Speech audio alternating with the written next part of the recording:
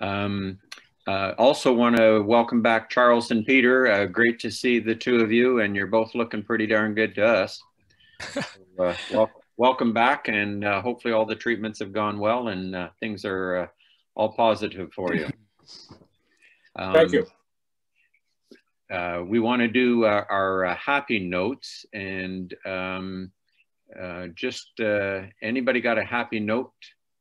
Hang on, more people coming in but why is the waiting room not letting me in there? I, I have one one last bit about Saturday. Um, uh, we have we have just almost a perfectly even number, and and uh, but I would love to have a couple of, of recruits uh, in reserve, uh, just in case somebody cancels at the last minute and uh, and and leaves a, a, team short. So any anybody that uh, would like to, to volunteer for not not a direct assignment, but a but a, a, a short notice assignment on on Saturday. I, would really like to hear from you. Okay. Um, anybody else with a happy note? Jennifer, please. I we listened to the uh, Toronto Rotary uh, uh, speech on on Friday. Their club meeting on Friday, and I just want you to know that they had as many technical problems or more than we have. So not alone. mm -hmm. Sorry? We're not alone. We're not alone. No, just, actually it was worse than I've ever ever seen anything. So make you feel good. Yes, it does. Okay, I think I had somebody in the waiting room, but they're not popping in. Yeah, I'm, I'm waiting. It's Andy. Andy, go ahead, please. Okay, a couple of things for happy notes. Uh, uh, a month ago, I had one of my eyes done for a cataract, and yesterday I had the other one done. So today I'm seeing very clearly, and I don't have any glasses. A little fuzzy on the on the one, but uh, that's got cleared up. So that's good news. And uh, we got an email today that uh, actually my uh, grandson in British Columbia is engaged and getting married in February. And of course, it's a small wedding. We won't be able to go, but that's the first grandson and for me to get to, to take the plunge. Wonderful. Peter, I have a question. Um, I'm trying to get to the waiting room to let some people in, but I'm it's not popping up on my screen.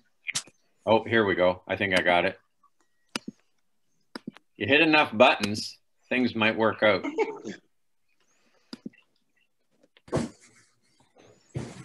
Hang on, I just have to make sure I get my attendance taken care of as well. And we're going to welcome uh, a few more into the fold here. And uh, we are into happy notes. Uh, and Allison, I asked you earlier if uh, you if uh, you could mention your note to us.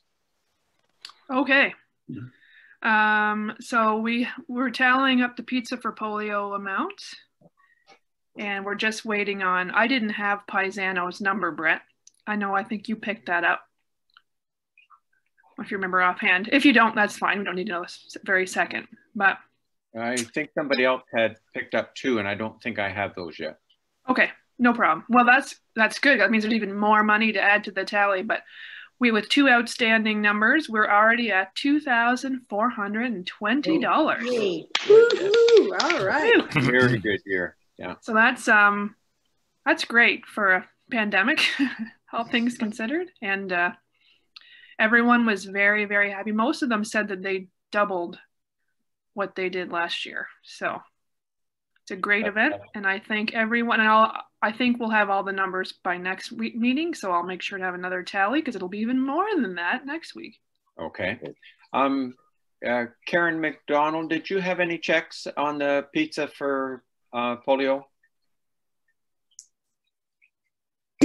no, I don't, Brett. I gave it. I gave you that one. Okay. I brought that one in. That was all I had. Okay, and I probably haven't gone back and looked at it because I wasn't adding anything more to that pot just yet. So I'll, I'll yeah, go. Yeah, the uh, substantial one. Yeah, there, there were some good ones there. So uh, I'll let you know, Allison. I'll double check my uh, list that I've got at the office there and uh, and let you know for sure how we're doing.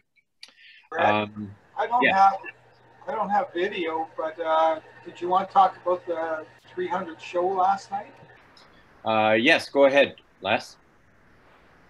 Uh, well, we had our 300th show and uh, everything went well.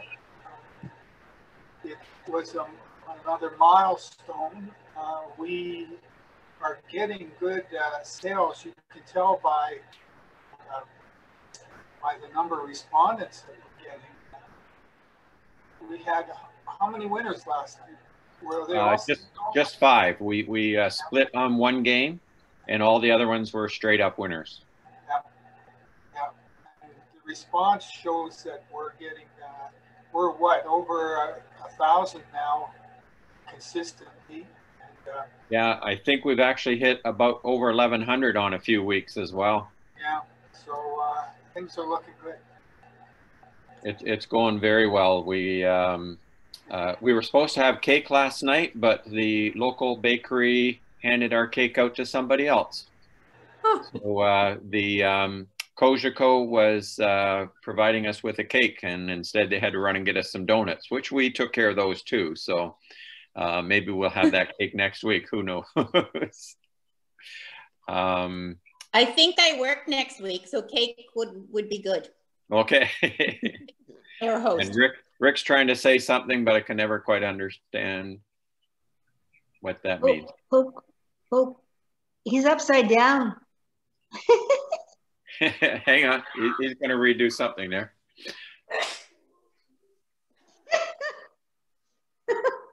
Oh, 60. Oh, 60K. I got you, Rick. So at the current rate, um, a year's worth of sales, maybe during the this rotary year, um, a year's worth of profit net, or sorry, profit gross, uh, could be $60,000, which is kind of the area we've been wanting to get to for a long time. So you got uh, all of that out of out of that that, that piece of cardboard. Yeah. Uh, see, I can, I can read. I can read what grow by. Rick, Rick thinks net. I think grow. So we'll have to wait and see. But uh, the sales have been uh, very good. So uh, we we thank everybody for the uh, work that uh, goes on uh, with the with the bingo. It's um, it, it's a trying time right now. A lot of our people want to play, and um, if we've got anybody delivering that's feeling a little uncomfortable, let us know. Um, you know, we want to make sure that you're comfortable with whatever. So if we need to find somebody else, uh, we'll certainly uh, work to uh, to that uh, side of things. Um, so at this time, um, I did have a report somewhere, but I, I got home late, uh, had a couple of last buckets came in, and I always like to get the uh, money all put together uh, before I leave the office. So I'll apologize. I'll, I'll, make sure next week if I've got any uh, birthdays and anniversaries, I'll get those out to you. Um, I'm, uh, Peter has some information uh, with regard to Guatemala. So we'll ask Peter if he would come forward. Yep. Okay. Um, I've been, had several meetings with the uh, Southern Alberta uh, International Service Committee, um, both the, Ro the, Rotary District in Southern Alberta, centered in Calgary. I've had two meetings with their, uh, one that's sort of a general International Service Committee meeting, the other one was their Guatemala Focus meeting. And so I'm now in discussions with four different clubs in Southern Alberta uh, to get them involved in the uh, the Rachel project in, in Petén in Northeast Guatemala. Um, because of a couple of things that, that may have, that this will affect the project. One is the way that their district works. You can't apply for district funding, which is crucial because it's district funding which triggers Rotary funding. Um, you can't apply until April 1st. So we may postpone um, submitting the project proposal until uh, around the beginning of May, which shouldn't really affect things because given COVID, I don't think we can do any rollout of the Rachel systems until February 2022. Um, so this, the, the timing won't, the eventual timing of the rollout won't be changed. But more importantly, um, one of the people I've met in this, these meetings is uh, Danielle Scogan, a young woman who started up a program uh, for empowerment of girls in Guatemala. And uh, they've put together a whole bunch of course material. Um, so we've set up a meeting we've already had a meeting with her and the Rachel, the people who are responsible for Rachel, trying to get the course material onto the Rachel system. And then next Thursday, we're going to have a meeting with her and the Petén Rotary Club people um, to try and basically uh, up change or, or, or, add this Ser Nina to be a girl uh, um, sort of gender equality training, uh, confidence, courage training, which is really important for, for young women and, and, um, and young girls in, in Guatemala uh, trying to get this as part of the of our of our um, uh, project, uh, the Petén project. So not only would there be uh, material on the Rachel system available to all the students, but we would be training the teachers to be able to present that material uh, to the girls and the boys. Um, so this is a slight change in direction. It'll require some rewriting of the uh, grant, but I think it makes the grant a lot stronger. If anyone in our club is interested in participating in that meeting a week Thursday at 4 p.m. our time, uh, let me know because um, it, it, it seems like an interesting and exciting extension to the uh, project. Um, so anyway, that's my uh, information on how things are going. Great, thanks, Peter. Um, so um, I think as far as the club level goes, we really um, like to do whatever we can for Guatemala. Uh, Peter had mentioned that uh, the last um, storm system that went through was rather difficult for Guatemala. So something the club might want to think about uh, maybe trying to do a, something in, in that regards. Um, so just put that on the uh, on the shelf for now, but um, we really appreciate. Yeah, I can say yeah. a little bit about that because I was speaking to Lusani Contreras, who is the person from the Petén Club with whom I've been working on the project. And she had spent a couple of days in a place called Las Cruces in Petén's uh, province, uh, totally flooded, 180 families, uh, uh, not in their homes. I mean, have to leave their homes. Their flow homes are flooded. Uh, she sent me some photographs, um, and, and, you just see the water level sort of halfway up the doorways of the of these houses.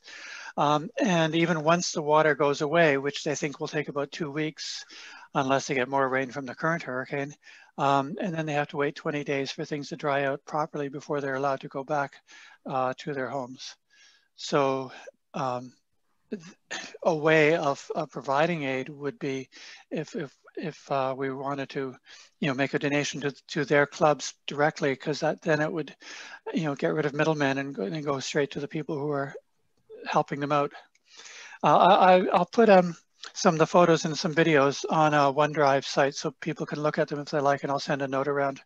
Um, because the video in particular, you see these people, the Rotary, yellow Rotary t-shirts going around helping with the uh, the camps that they've set up to to uh, they're just tarpaulins sort of hooked over trees that, that people are living under. Okay, thank you, Peter.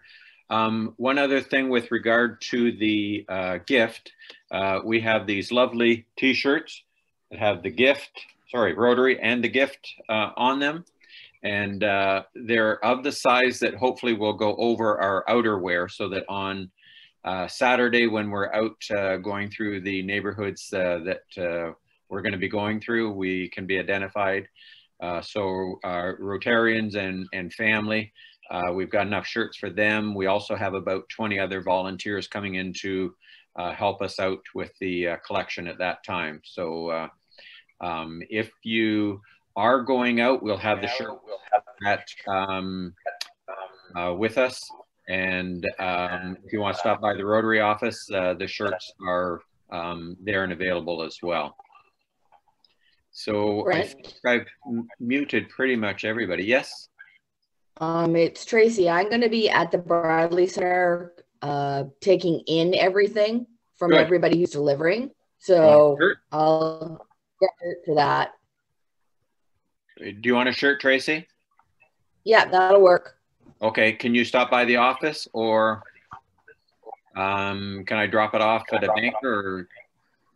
No, I can go by the office. I gotta go to the office on Wednesday, tomorrow anyway, so. Okay, uh, I'll be there from nine until 12, if that works. Okay, Okay, see, we'll see you then. Okay, so at this point, I'm going to ask if uh, Peter would do a bit of an introduction for us. And uh, hopefully, Jim, you're uh, quite comfortable with this uh, method. And um, Well, we'll it's get it's it's a it's going to be an experiment for me. This is the first time I've actually done a presentation on Zoom. So, but I tried it out with Peter, so we'll see how it works. okay, Okay, it's it's my my pleasure to introduce Jim Burant. Um, Jim and I actually were in high school together, um, and have known each other for a long time. Uh, obviously, because since high school was fifty friggin' fifty years ago. Um, now, uh, Jim uh, got his honors and masters in Canadian studies with specialization in art history. Yeah, that, that was always weird to us. Guys, someone going into art history.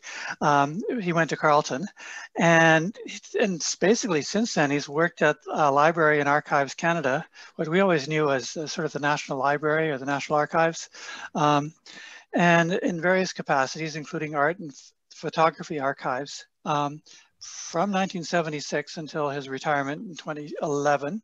He's published and lectured widely on art and photography and archives in Canada and abroad. And he's been the curator for numerous, numerous ex exhibitions and has an international reputation in the fields of art history and archives. He received the Queen's Golden Jubilee Medal in 2003. And I'll turn it over to Jim. Great, thank you very much, Peter. Let's see, I'm going to put the share screen on. And here we go. There, does everybody see that? yes. Okay. So, uh, I'm trying to get it up into. All right. Well, if you can see that, I'm going to start from here. Um, as Peter said, um, I worked for 35 years for Library and Archives Canada, and uh, here is um, it's the Archives of the Government of Canada. It's the largest archival institution in the country. Um, uh, picture on the left is actually the headquarters building of Library and Archives Canada, which is about four blocks west of Parliament Hill on Wellington Street. Um, it also has a preservation center, which is out in Gatineau, and uh, I'll show you another picture of it later. The archives has been around since 1872. The National Library, which with which it was amalgamated in 2004, has been around since 1953. Um, the Dominion archivist in 1925 noted that archives are a gift of one generation to another, and the extent of our care for them marks the extent of our civilization. Uh, something that um, I always loved as a quote. Um, the archives has a twofold mission to maintain and collect the official archives of the Government of Canada and to acquire private records from thousands of eminent Canadians and organizations of national significance.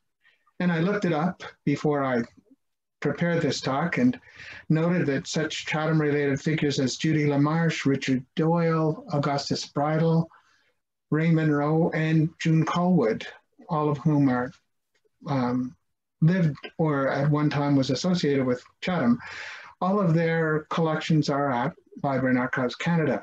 And also of note that the archives of Daniel Hill, who founded the Black History Society of Ontario, are also at LAC and contains a great deal of reference material related to the Underground Railroad. Uh,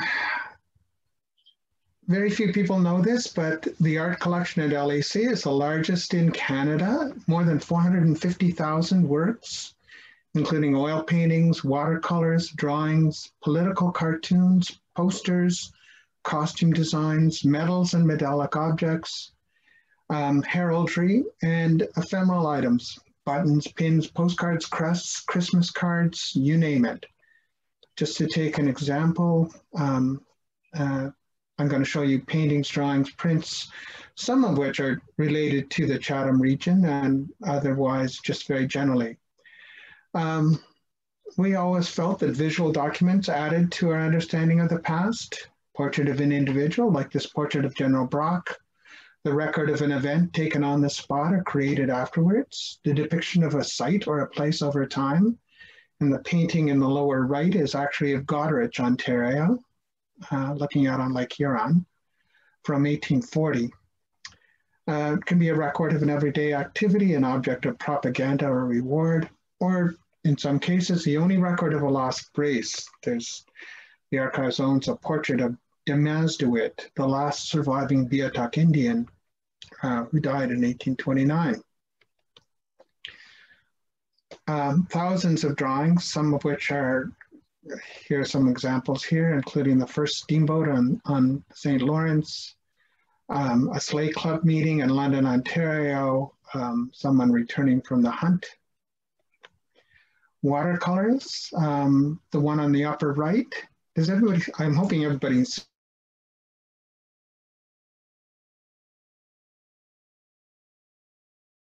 on from 1820.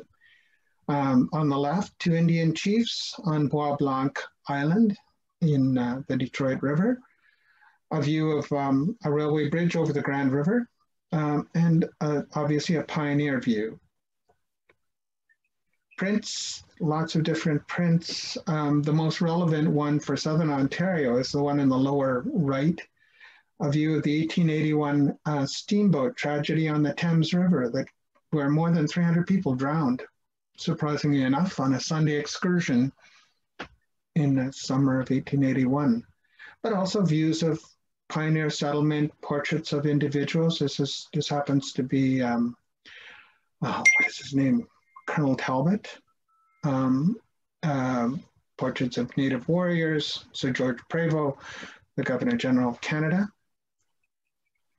Postcards um, postcards, posters, um, Christmas cards, um, stamp designs, advertisements. Um, the archives has a huge variety of, of um, objects of this in this type. Medals and medallic advice, uh, devices. Um, the archives is a repository of all cancelled Great Seals of Canada, and the one up in the upper left is Queen Victoria. Um, medals. Um, we have a Victoria Cross. We also have copies of almost every Indian treaty medal that was ever handed out. Political buttons, you can see an old 19th century one, a newer one, uh, Pierre Elliott Trudeau from 1968. Caricatures and political cartoons. Um, we at, for a period of time, I ran something called the National Canadian Museum of Caricature, and we collected the original cartoons of all of those political cartoons you see in newspapers. Um, and uh, for Southern Ontario, we, for example, we have Mike Graston's collection of political cartoons. But we have historical cartoons, such as the two upper ones. Um, uh, we have the Duncan Macpherson collection from the Toronto Star, including this wonderful image of Pierre Trudeau in 1968. The state is me.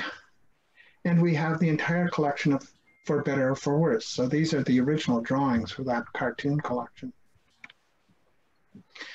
We're the repository of the National Heraldry Collection, uh, which not only includes coats of arms, such as coats of arms of Canada, but also of um, all the designs from flag competitions. Um, and this one on the right that I'm showing you is actually the design that was submitted by A.Y. Jackson in 1964, but not chosen. As I say, it's the largest collection in the world, and I was in charge of the collection for more than two decades. And almost everybody who saw the collection said, Why is all this stuff in the archives? Why isn't it in the National Gallery? Um, and my answer to that always was that we collected, the archives collected images not because who they were done by or because it presented a, an aesthetic style, but because of the content of the image. So, um, and you can see in the lower image that the archives used to have these wonderful display rooms where you could look at the visual history of the country. And in the upper picture, I'm pulling out a rack of paintings, and these are all by Cornelius Krieghoff. Um, and Krieghoff's paintings, no art gallery actually acquired Krieghoff paintings before 1940. Um, up until then, he was just considered to be a hack painter who recorded scenes of Quebec life. So the archives acquired many of them and still has the largest collection of Krieghoffs in the world, uh, other than the Art Gallery of Ontario. We acquire the collection three different ways. Material gets uh, transferred, we, LAC, uh, gets material transferred from government departments, posters, medals, philatelic material, uh, people donate their material on its own or as part of their archives. And finally, the archives has a small acquisition budget, which has been augmented since 1977 by grants from the Cultural Property Export and Review Board. Where's the collection stored? This big preservation center, which looks like an aircraft hangar, houses 48 vaults, which can withstand a nuclear explosion and um, seven or eight of the vaults contain the art collection. So there's a view of um, one vault on the left, um, the, the drawings vault, and on the lower right, the paintings vault. Back to my question about why this art is in the archives, not in the National Gallery. Um, aesthetic considerations change. These four paintings are among the most famous paintings owned by the archives. They were acquired in 1922. They, they're by a woman artist named Frances Ann Hopkins. Um, when they were acquired, um, the National Gallery had virtually no works by women artists, nor was Frances Ann Hopkins considered to be part of the mainstream of Canadian art in this country. But in the 1970s, as interest in studying the history of women artists began, uh, she began to achieve a greater importance. In 1975, there was a major exhibition of women artists, and 75% of all of the works in that show were from the, from the archives. Um, partly because we collected the work of women artists, not because they presented part of an artistic canon, but because of what they were representing. Another example is this example of a woman named Mary Riter Hamilton, who was an unofficial First World War artist.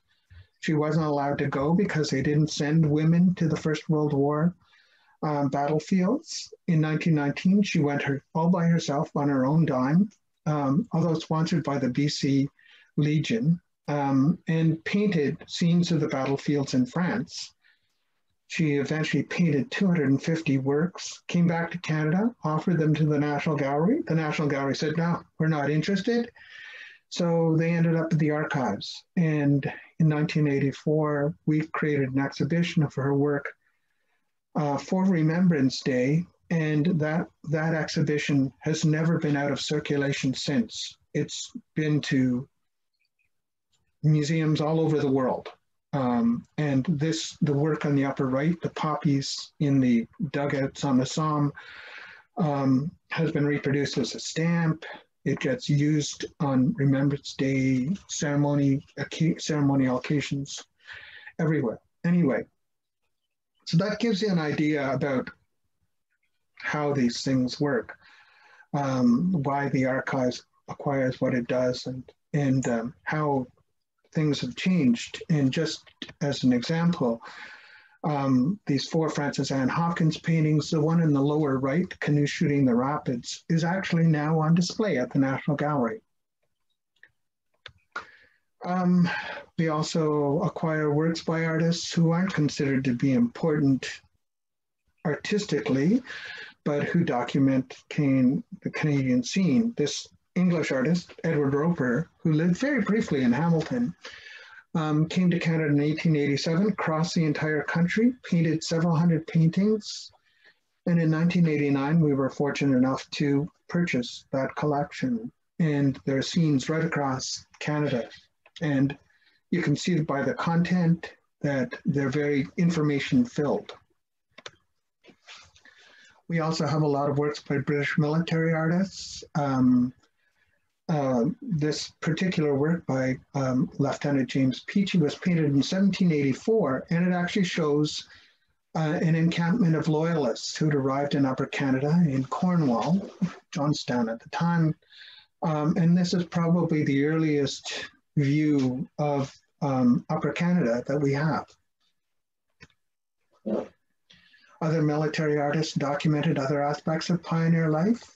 James Pattison Cockburn, for example, um, the view of the road between Kingston and York, which looks a lot different than the main road between Kingston and York now.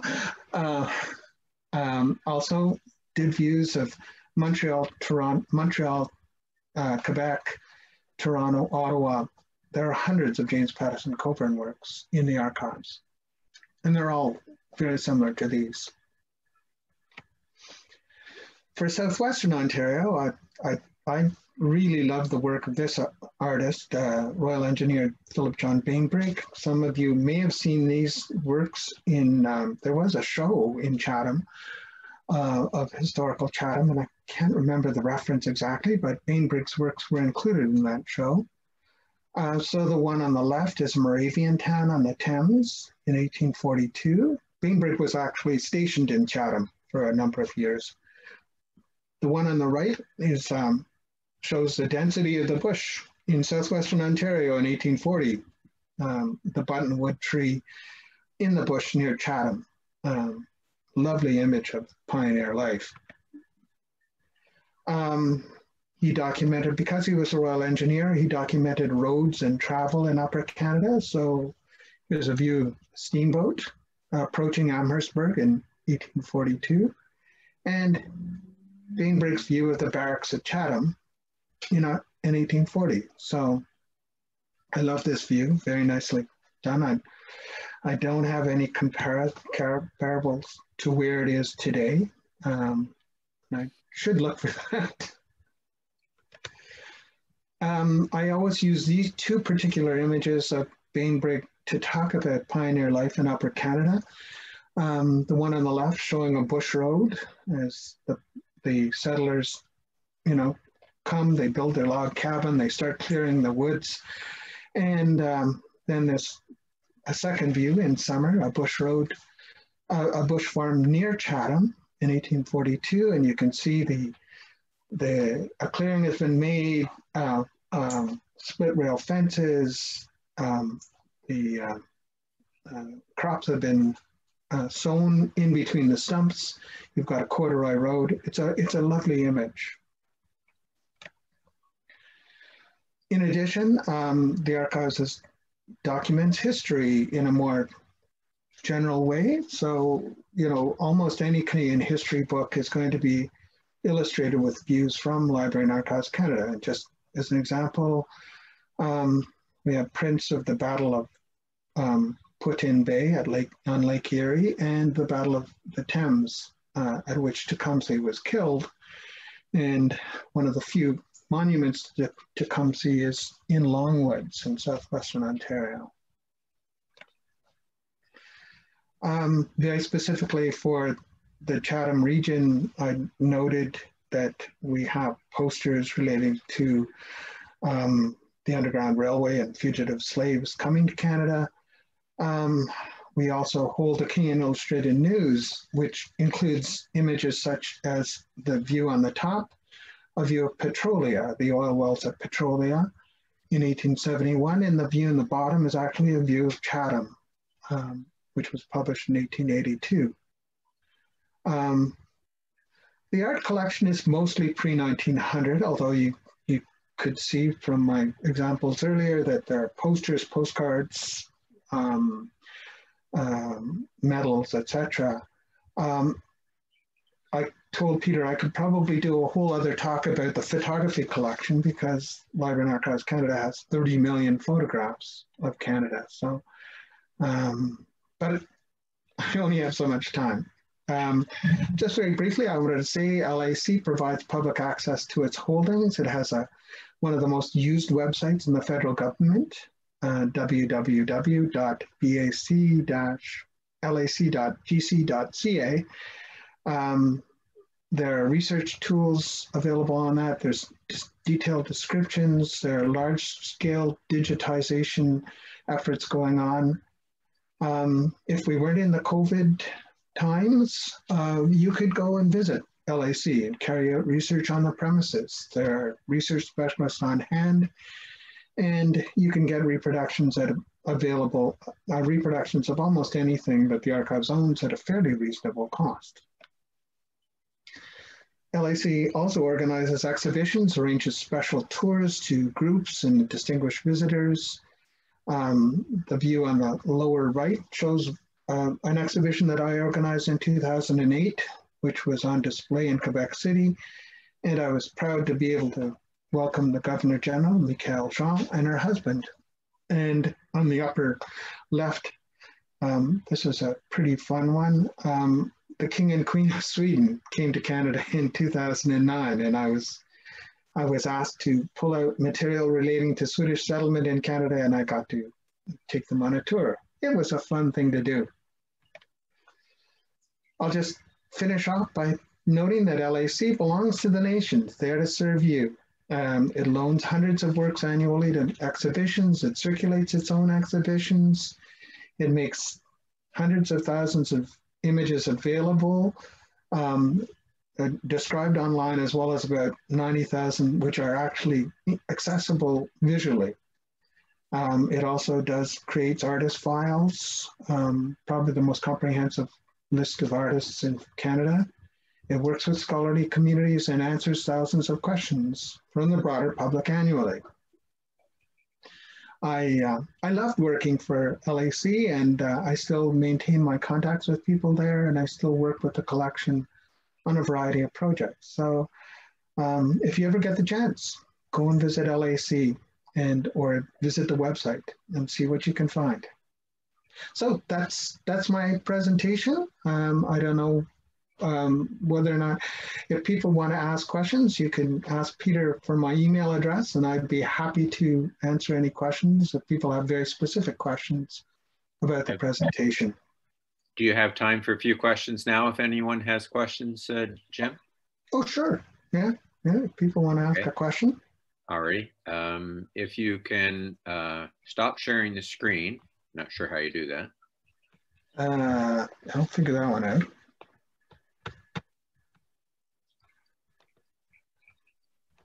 The little green thing at the top of the screen?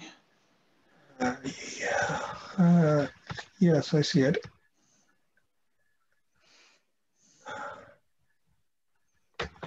There, there I am. Perfect. Sorry about that. Okay, so uh, now I can see everybody as well. So uh, is there uh, any questions that we'd like to uh, present? Uh, Allison, I was hoping you'd have something. That was a great presentation, Jim. Thank you. I worked at the uh, Archives of Ontario for several years, so in Toronto. So this is lots lots of great information for me to learn about what's happening in Ottawa. Um, the importance of archives. What would be one of your favorite items in the collection? Can you narrow it down? Well, I always loved uh, the Frances Ann Hopkins. Um, one of the things I did during COVID times was I actually on Facebook posted, did 80 separate postings of my favorite works from LAC's collections. So I eventually added up how many I, I, I posted 700 images and talked about them during from March until June um, and then sort of stopped when the weather got good. But uh, there are two of my favorite images. Um, there's a lovely 1819 view, a watercolor, which is about the size like like this big. It's it's very small, like four by six, which is a view of the La Loche Portage in, in northwestern Saskatchewan. And it's a 36 mile portage between uh, uh, the Clearwater River and Lac La Loche. And it was used by the fur traders. And it's done by a British artist named George Back and it's an extraordinary little watercolor. It was my favorite work in the whole collection. I, I loved it immensely. Um, I also mentioned um, the there's a a miniature portrait that is a, a small scale uh, ivory on um, um, watercolor on ivory portrait of a Beothuk woman named Demasduit. And I always loved the portrait. It was done in 1829. She was um, the last living Beothuk Indian. Uh, as I'm not sure how many people know, but uh, settlers actually destroyed an entire um, community, the Beothuk in Newfoundland. And she was the last survivor. She was brought to St. John's, Newfoundland, and the wife of the lieutenant governor did a portrait of her. And they were going to try and um, return her to to the territory where she lived, but she died of tuberculosis um, in St. John's, and um, thereafter nobody could find any any re remain remaining Beothuk. So she's considered the last Beothuk. And that was one of my favorite images because it was so unique. And it's the only um, from life portrait of a Beothuk Indian as well.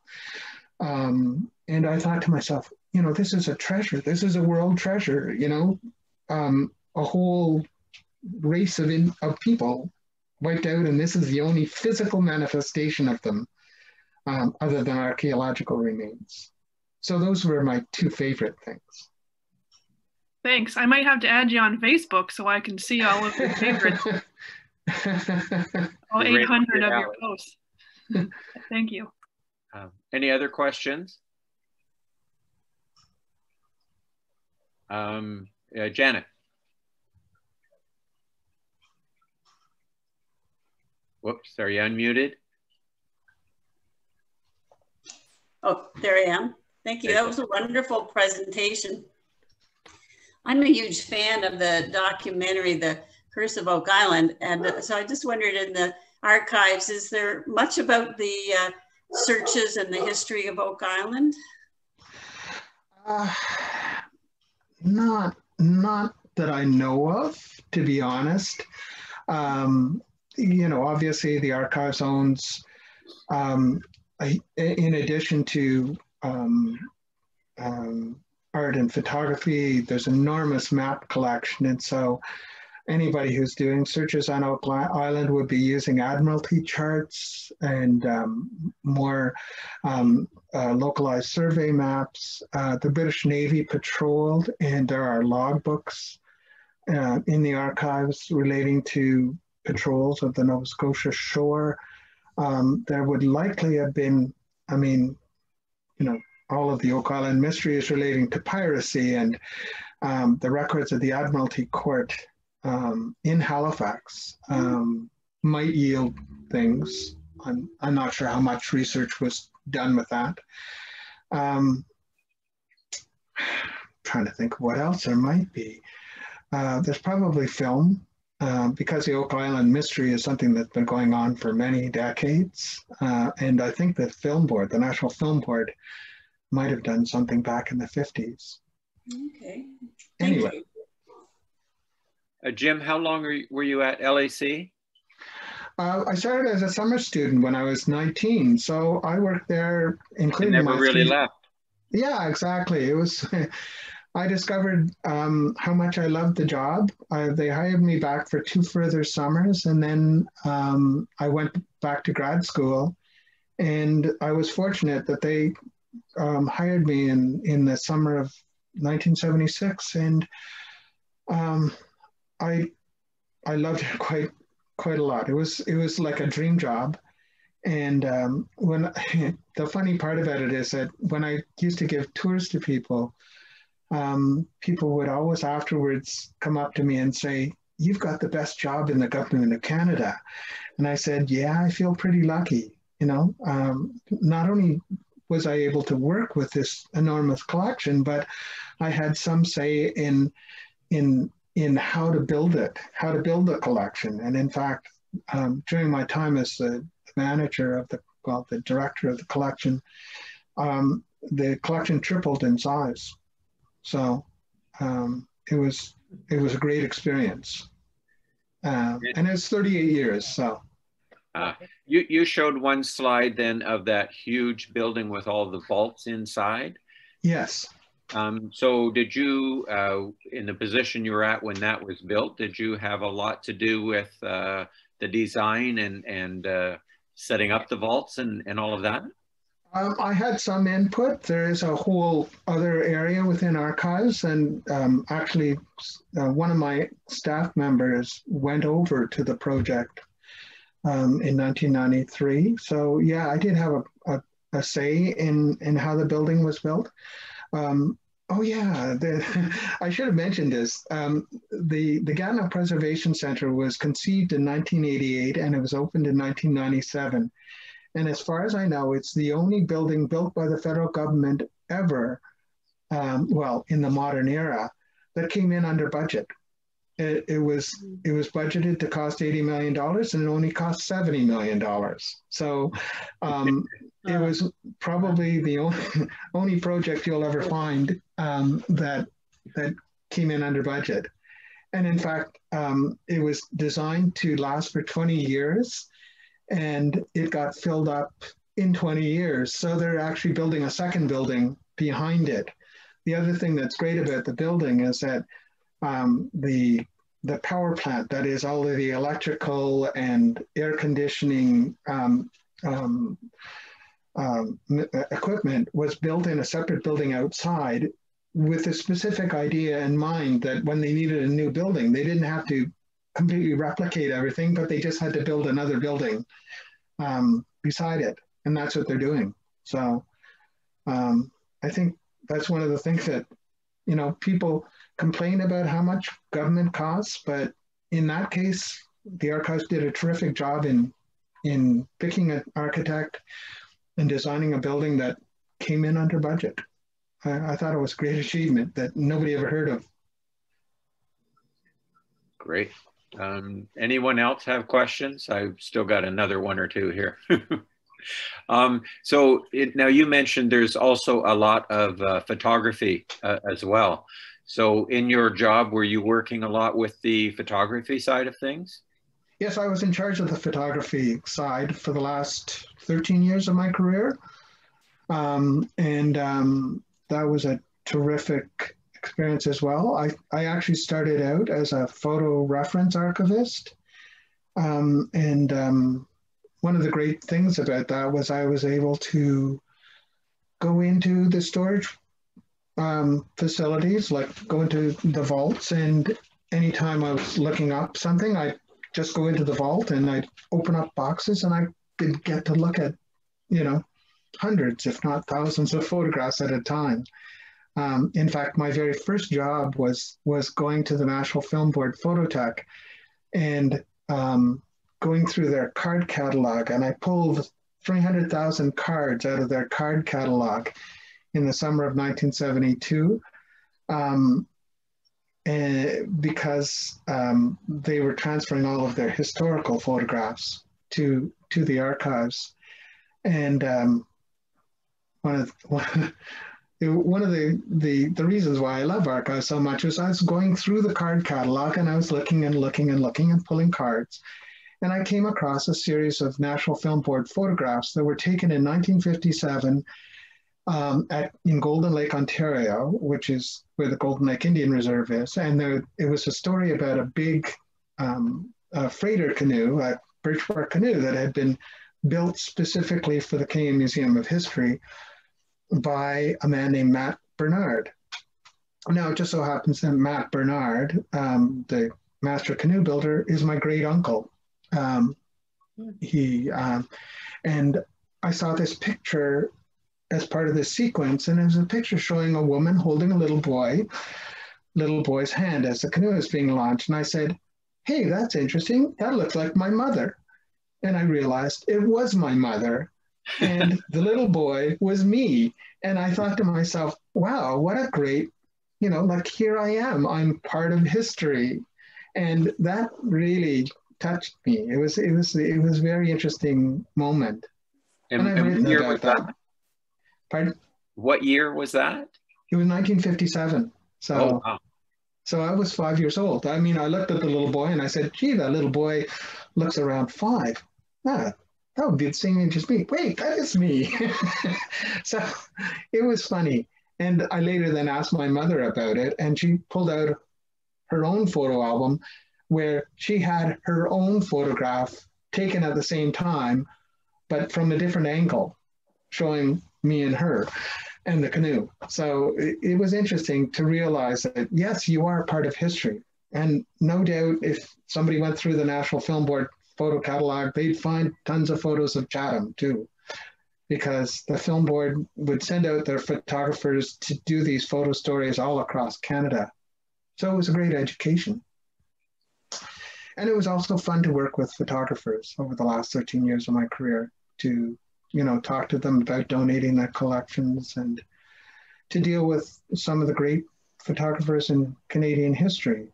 You know, Josef Karsh, for example, who I met many times before he passed away, and um, George Hunter, uh, Richard Harrington. I, I, I, met tons of great photographers uh, during my career.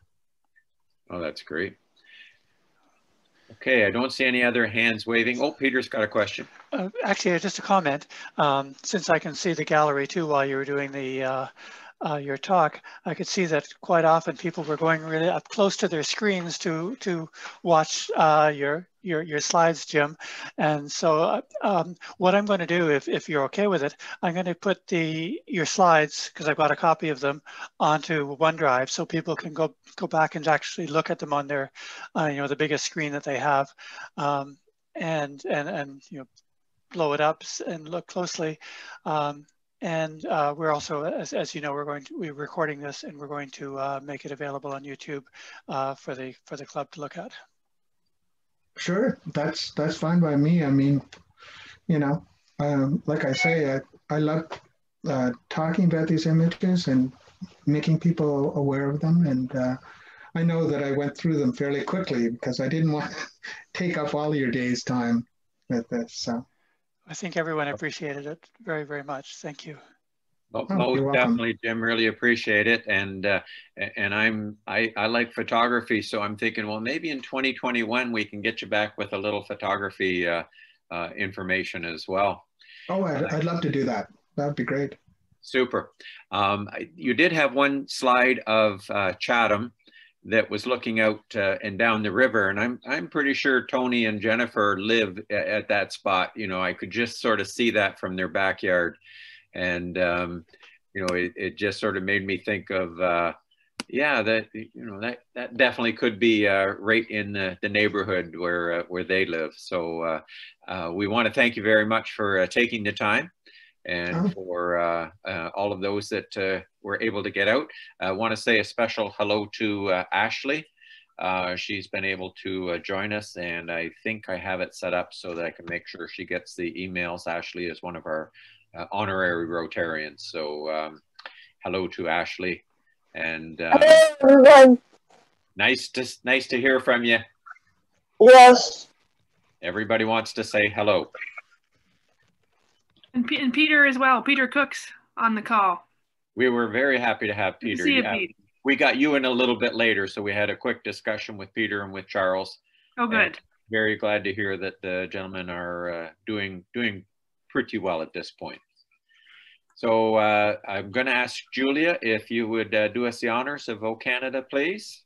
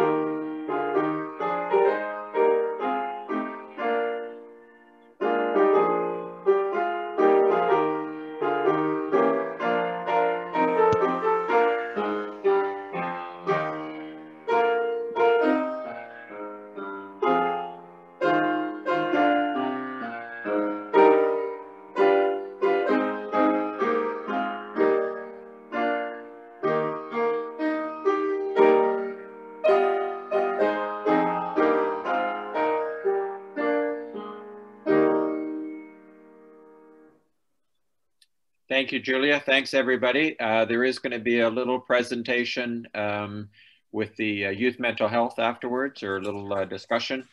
So uh, to the rest of you, uh, we'll see you around. Uh, see some of you on Saturday for the gift. And stay safe, everybody. Thank you.